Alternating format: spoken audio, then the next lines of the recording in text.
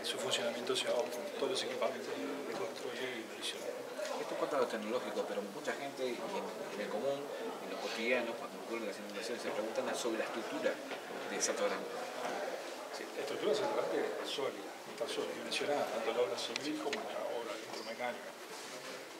En la obra civil, en esta etapa, hay muy poca intervención, simplemente hay una instrumentación más para el control de la presa